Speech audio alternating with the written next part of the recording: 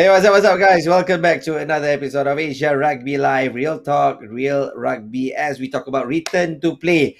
And uh, we are so looking forward to return to play. Of course, we have another set of guests on this show. This, uh, I think, if we are in uh, episode eight, or was it episode nine? Okay, I lost count. So we are in episode uh, season three. Anyway, guys, of course, uh, rugby is happening, and I am very happy to. I just got to know this that 14 teams right now are in Dubai. So what they are doing in Dubai is Rugby Sevens journey road to Tokyo preparation for the Olympic Games continues to take shape as 14 women's and men's international teams arrive in Dubai to participate uh, in a competitive high performance uh, training camp and, and which includes two tournaments uh, happening on the 2nd and 3rd of April, which is uh, this weekend, and also on the 9th, 8th, and 9th of April next weekend. So, wow, I'm, I'm so looking forward to that. I'm so looking forward what's happening, which teams are participating in that tournament and stuff. And uh, the other news is if you go to asiarugby.com, uh, you can see that World Rugby has announced a committed in um, fostering safer and more accessible accessible game for all as well as a welfare and law symposium to consider further actions to advance player safety uh, uh, welfare. So check it out on asiarugby.com and don't forget to like and subscribe uh, to our facebook and also youtube and also instagram page. Uh, should have new content in the future. Okay, so today we are talking about uh, unstoppables. We are talking to a few unstoppables. I think this is our second time talking to the unstoppables of Asia.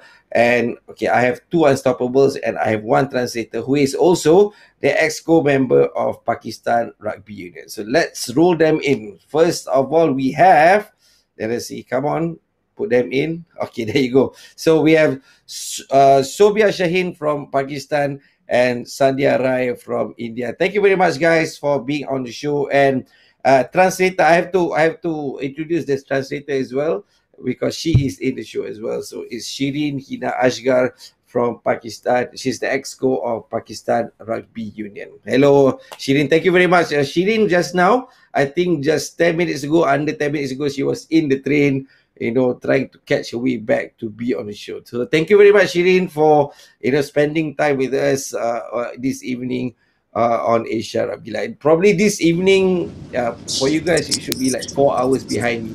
Anyway, uh, thank okay, you. First of all, thank like you to, so very yeah, much. thank you very much. No problem, no problem. Okay, first of all, I would like to ask uh, Shobia. Shobia, can you uh, tell us a little bit about yourself and probably your rugby journey as well? Assalamu alaikum. Uh, my name Alaikum is Sobia Shaheen from Pakistan. Uh, I playing rugby for over uh, six years, and before playing rugby, I really don't know about anything about rugby. But uh, my coaches encourage me to play rugby and motivate me, and also guide me about rules of um, rugby. And uh, I do more mistakes during my trainings, like uh, forward throw and uh, uh, throw the ball when somebody tackle me. Uh, but my coach is my coach is encourage me and motivate me about rules and skill, and now I am more passionate about um, for rugby. when I play first match in in 2015. I uh, I try five scores and my coach gave me best player award of best player of team and this uh, that moment is really blessing for me. And uh, uh, after that i am i am alhamdulillah i am now right now uh, unstoppable ambassador of asia rugby as well as um, uh, pakistan rugby union developmental officer of pakistan rugby union. Thank you. Uh, Thank you very much. Thank you very much for the introduction, and thank you very much for being on the show. And of course, uh, you know, there's uh, with with the internet. Uh, the thing is about us, we are broadcasting from all over the place, and of course, some places have internet problem. Uh, bear, please bear with us. Please bear with us uh, wherever you are, because uh, from where wherever Shobia is, she's having um, not not to say uh, it's intermittent internet connection. So sometimes it's good, sometimes it's not that good. So please bear with us. Anyway, Shobia, thank you very much for being with us. We really appreciate for, uh, with you, you know, sharing your story of being an unstoppable ambassador. Okay, uh, next, Sandhya, what about you? Can can you tell us a little bit about yourself and your rugby journey? Okay, so hello everyone. Uh, I'm Sandhya from a small village which is called Saraswatipur, uh, which is in India, West Bengal. And uh, now I live in Kolkata because I'm doing uh, study here and uh, work with the foundation as a community coach.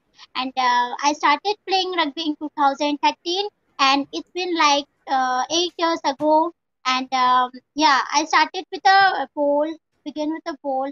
And uh, before rugby, there was no game for girls. As you know, that uh, I'm from a small village called Saraswatipur, and uh, before there was no equal opportunity for girls. There only boys are there who is playing uh, like uh, some uh, some kind of games like football and cricket, but there is no game for girls.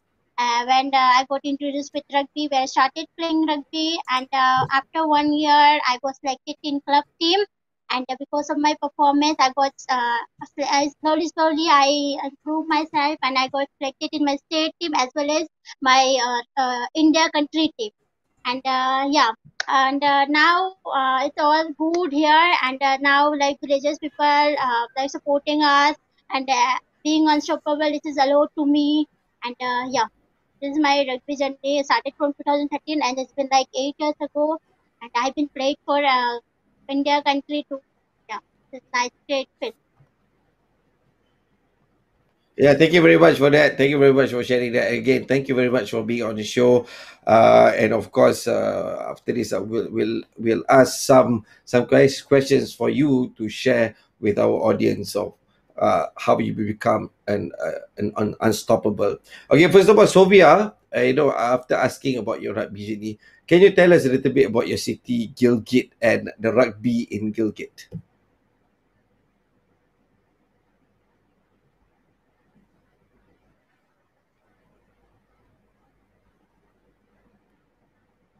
Oh, sorry. Uh, sorry, Sobia, can you hear me? What was that? Okay, sorry. Uh, because we can't hear you right now. Okay, hold on one second. Okay, can you repeat that, Sobia? Uh, yes, sir. Yes, sir. Okay. Ah, yeah. Okay, better. Yep. Okay. Yes. Can you repeat that? Uh, Gilgit-Baltistan is beautiful city of uh, Pakistan uh, and new uh, province of Pakistan. Uh, famous, uh, it's famous for highest polo ground is all all over the world, and also for, famous for ski. polo ground is in Shandur, Chitral, and Naltar, where ski is in Naltar. And uh, Gilgit-Baltistan are also uh, different places for uh, tourism like Naltar, Astor, Sikardo, Phander, Hunza, and Khunjerab towards China. And I wish uh, to uh, I wish it is also uh, famous for rugby. And and Gilgit is also famous for having the highest polo tournament in the world. Is it true? Uh, I think I think it's highest ground of polo. So uh, how how famous all is over polo? the world? Uh, how famous is polo uh, uh, over in Gilgit? Uh, it's uh, polo is the uh, national game of Gilgit. Matlab, Gilgit uh, is national game of Gilgit and also uh, Pakistan. Pakistan uh, hockey is in Pakistan, but Gilgit, uh, Gilgit uh, in Gilgit there are uh, many uh, uh, players of polo, and they participating in all, participating in all over the world events, playing in uh, that ground. Sorry. Sure, sure, no problem, no problem. Thank you for sharing that. And of course, uh, like uh, Sobia said, probably I would think that rugby in Gilgit is uh, is is a growing sport, and of course, I wouldn't say it's competing with polo, but I would think it's a growing sport in Gilgit. And you know, how about you, Sandhya? How can you tell us uh, how about rugby uh, is in your village in India, Sandhya? Okay, so uh, rugby right now it's a grooming sport in India. Uh, not very popular in India, but uh, yeah, it's uh, uh, it's going to be popular as, as uh, hope it will be popular soon. And yeah, in my village there was a like uh, 500 children playing rugby. As soon as it will be increased number, hope it will be. And in rugby in India there was a 70% boys playing rugby and 30% girls. So we try to hope that uh, we try to bring all the girls from our India, all the uh, from rural area and communities, and try to be changing it soon possible for us. And yeah, hope. But uh, yeah, let's see. And talking about uh, talking about rugby, I said, yeah. Um, you know, yeah. tell us uh, what has been the benefits of uh, playing rugby for you, Sandhya. Okay, uh, so for me, um, rugby uh, is a more, more, more important uh, part of my life because it changed my life. Uh, when I was in village, there was nothing to do for me, and uh, from rugby, I got opportunity to come out from my village to see the world. And uh, from rugby, I got opportunity to travel the international international countries. And from rugby, I got I got to learn confidence and I'm going to like the equal opportunities. I'm going to like the equal rights for uh, women and uh, yeah, rugby taught me like various type of important things in my life. And this is your, we are looking at your team, is it? Yeah, yeah, these are the my team. Oh, nice, nice. Thank you very much for sharing this. And of course, uh, you guys are having so much fun uh, with the mud. Uh, and Sandhya, um, you know, you said just now rugby has brought you, you know, to take to see the world. So where have you been? Where have you traveled to play rugby before? Yeah, I uh from uh for team uh, obviously I want to be in a World Cup. So we trying to be in there. Uh, hope it will be happen, and we try. Uh, yeah, we continuously we try to be in there. Oh, of course, of course. Before this, where have you traveled before? Before this? Which country? Uh, like uh, recently, I have been traveled in Indonesia. Mm-hmm. Recently, in 2018, and we uh, we was in a final. So uh, it was great tournament for me and for my uh, country. Oh, nice, nice. So I think, uh, yeah, of course, like these two ladies, rugby has given a lot to to you guys, yeah. and the the the stories that you know you guys have submitted is very unique to uh, you know the panelists to to pick you guys to be the top 16 of uh, the unstoppables. So for sobia um you know can you sobia can, can you tell us uh, uh, about the women's rugby in pakistan? Uh, before 2015 there is no rugby for women in pakistan uh, in 2015, there was um, a Pakistan Rugby Union organized uh, uh, Pakistan Rugby Union or organized uh, event our women uh, rugby to 2015. And uh, I also represent clubs that still Lahore introduce uh, women's rugby and boys also. And uh, uh Pakistan, uh, and now Pakistan Rugby Union uh, organized different events all over Pakistan. And recently I participating in uh, South uh, South Punjab uh, events, rugby event, and got, uh, our team uh, got first position in there. Oh, that's great! That's great. Uh, it, um, of course, when when when you guys win that tournament, the feeling must be great. And Sandhya, talking about you know we heard you know about Pakistan rugby from uh, Sobia just now. What about India rugby? How's the women's rugby in India right now, Sandhya? Uh, yeah, so uh, women's rugby, uh, women's team are doing very well uh, at uh, STR rugby uh, in the at the performance, and uh, yeah, they are very hard workers, and yeah, we I we with them in camp, so I see that they are very hardworking, and we try to uh, improve, we try to improve our team, and uh, try to top in uh, Asia Division One. Uh, now we are in uh, Asia Division Two. So we try to be there. And uh, yeah they are very good. They are try to uh, bring all the girls from the communities and try to uh, like try to like to increase the numbers of girls in india. And yeah they are very hard workers. Yeah. And um uh, when you say they are very hard workers, uh, of course, yeah. you have played against uh, many, many teams in India, right? Uh, do you see India um, being a, a, a big team one day? A good team one day, probably? Yeah, I think so. It uh, yeah, India team is a very good team, and uh, for comparison, boys like uh, the women's team are very good. That's great. That's great. And uh, how about the women's uh, women rugby development in India? Uh, how how what do you think of the women's rugby development in India? So nowadays we have got uh, like more opportunity, more uh, more tournaments. So yeah, it is very good idea. Uh, rugby India provide us like uh, tournaments more and more. So it is good for all the women and all the boys too.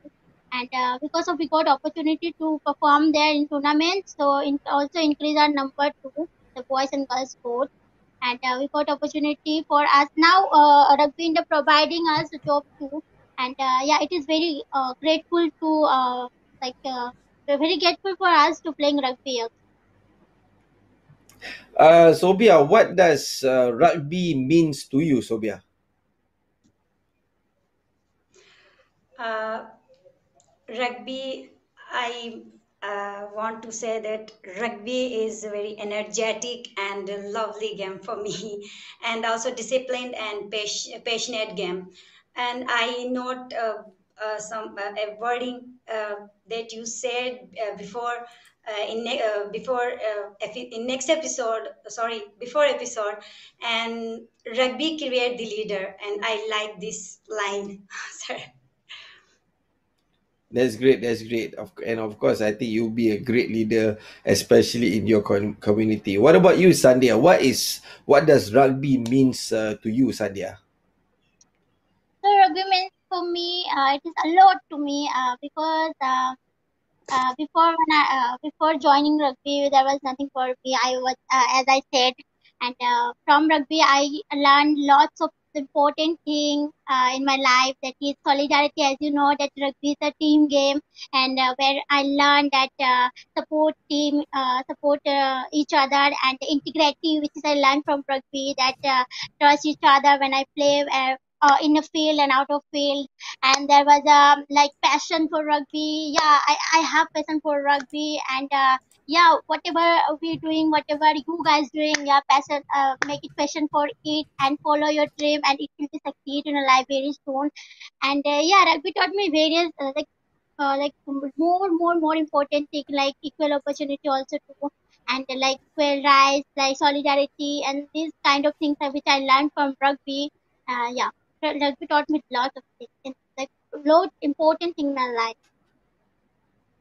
and of course i think uh, because where where you guys have been of course rugby is the one of the most important things in your life and talking about rugby uh, sandhya have you played against pakistan before this uh, yeah, I had played uh, with against Pakistan team in Brunei, which is held in yeah, which is held in Brunei in uh, 2017. Uh, like Pakistan team has like very good and uh, for very good players. And uh, as you know that uh, Pakistan also know the our Hindi language and uh, we too uh, speak in Hindi. So yeah we, we both connect uh, like communication is a similar thing. And uh, yeah that was great match against Pakistan. Yeah. Oh, that's really good to hear, especially you know you guys are you know making friends despite whatever yeah. you know backgrounds where you guys are from rugby connects all rugby unites all. And that's just lovely, lovely to hear. And uh, i also want to talk to shireen the translator as she's the exco member of uh, pakistan rugby. So shireen uh, you know as the member of uh, pakistan rugby so how do you see uh, especially women's rugby in in pakistan nowadays Uh, hi there. First of all, I would like to apologize uh, as I am sitting inside the train. I am Divisional Commercial Officer from Pakistan, and today, uh, fortunately or unfortunately, we had to travel somewhere with our officers' team to inspect uh, different stations in Pakistan. Uh, talking about rugby, uh, it is quite fortunate for Pakistani nation that women are getting ahead. Women are getting uh, their participation in rugby uh, game, which was previously denied. Uh, women were not that privileged as they are now in Pakistan. And uh, seeing Sobia Shaheen from Gilgit Baltistan, it's uh, it's it it seems lovely that people from far flung area also get opportunities to get inside this game, and uh, um, they, they'll become world leaders in some time and I have prayers yeah, and sure. wishes for all of all of the people. For sure, for sure. Uh, and uh, Shirin, just uh, one fun fact: I, you are the first person to uh, you know broadcast from in a train. So well done. That's dedication. Thank you very much. Yeah, yeah. Thank you so very much. Thank you so much. and your internet connection is very good. That's the thing. I'm yeah. yeah. You are moving. Yeah, fortunately, fortunately. The, okay, yeah. So, uh, you, you, know, you were talking about women's rugby. Uh, so, how is it being an exco member of uh, the Pakistan uh, Rugby Union, being of, especially fact, being a woman the very in there? first time I got this. Mm. yeah, it's quite tough, but it's very first time that I have been elected in the exco uh, EXCO members uh, as a women representative. And uh, in Pakistan, women are not that much privileged to get participation at such forums. But uh, some people recommended my name, and I'm I'm quite uh, grateful to all of them who proposed my, my name at this forum and um, consequently i also got elected so i, I feel uh, myself prist-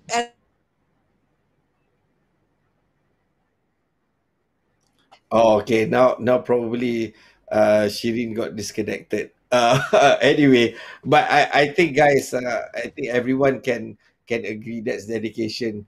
You know, just turning on the phone, and this is the beauty of internet. You can do it anywhere as long as there's uh, an internet. Like anyway, guys, uh, thank you very much, Shirin, just now. I hope uh, she's all right. I hope uh, the internet line will be uh, back on. And thank you very much to Shobia, and also thank you very much to Sandhya for being on the show, for sharing your experiences, for sharing your thoughts uh, of being an unstoppable. And please don't stop playing rugby. Uh, be an unstoppable. What's up? Anyway, guys, I brought. Uh, see you guys again next week uh, on Asia Rugby Live, Real Talk, Real Rugby. See you again and good night. Thank you so much, sir.